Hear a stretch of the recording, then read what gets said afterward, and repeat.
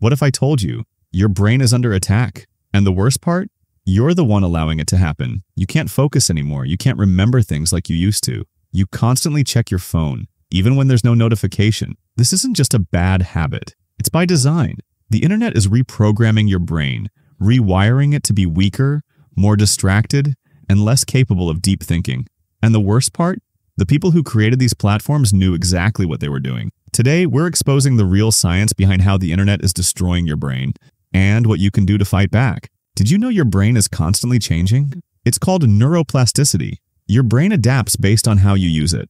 And the internet? It's hijacking this process in the worst way possible. Studies show that the average attention span has dropped from 12 seconds in 2000 to just 8 seconds today.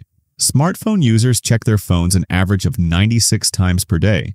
Heavy internet users struggle with memory recall and deep thinking. Why? Because your brain is being trained to crave instant gratification. Every time you scroll, click, or switch between apps, you're weakening your ability to focus. But this is just the beginning. Your brain runs on dopamine, the chemical responsible for motivation and pleasure. And the internet? It's the biggest dopamine trap ever created. Here's how it works. You scroll on social media, a funny post appears, you get a dopamine hit. You refresh your feed, new content appears, another dopamine hit. You open a new app, more stimulation, even more dopamine. It's the same system casinos use to keep gamblers hooked, except now it's in your pocket. The result? You become restless when you're not online. You struggle to focus on real-life conversations. You crave constant stimulation, making it harder to do deep work. And big tech companies? They designed it this way, on purpose. Think about it. When was the last time you memorized a phone number or read a long article without getting distracted? You probably don't remember, because you don't have to. The internet has become your external brain. Google, Wikipedia, AI chatbots. At first, this seems great, but here's the catch. When you don't use your memory, your brain stops developing it. When you don't think deeply, you become dependent on shortcuts. When you don't challenge your brain, it gets weaker over time. Psychologists call this the Google effect. People don't retain information anymore because they assume they can just look it up later. And guess what? That's making us easier to manipulate. The scariest part?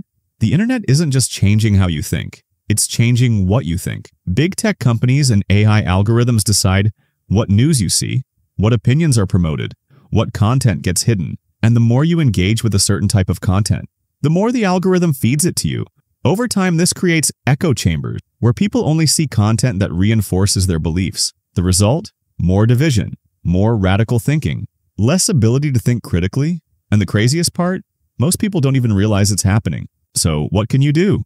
How do you fight back against the internet's control over your mind? Here's the five-step detox plan. 1. Digital fasting. Take 24 hours completely offline once a week. Your brain needs a reset. 2. Limit dopamine triggers. Turn off unnecessary notifications. Remove apps that waste time. 3. Practice deep work. Train your focus by doing one task at a time without distractions. 4. Read physical books. Your brain retains 10 times more information from books than from screens. 5. Think for yourself. Question everything. Don't let the algorithm decide what you believe. If you follow these steps, you can take back control of your brain before it's too late.